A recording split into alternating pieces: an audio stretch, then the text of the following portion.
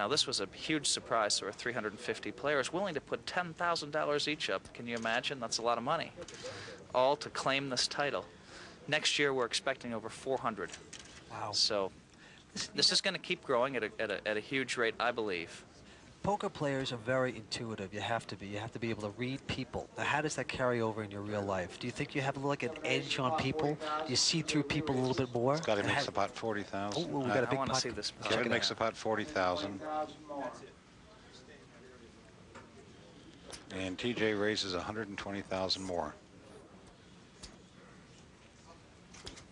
Kevin calls. Kevin calls. I'm a little bit shocked that Kevin just called a $120,000 raise from TJ because TJ is a very solid player. Up comes four, five, seven. Flop comes 754, two spades.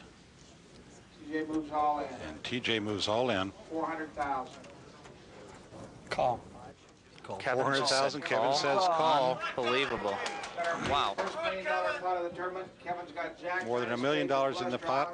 TJ's got king, queen offsuit. TJ Wow, has king, queen hand here. offsuit. Got the flush draw. TJ's got the best hand. right.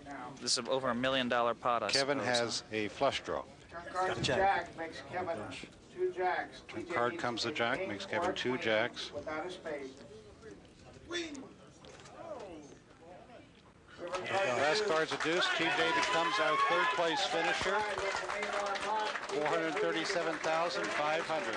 All three players were knocked out by Kevin. All three had better hands before the flop.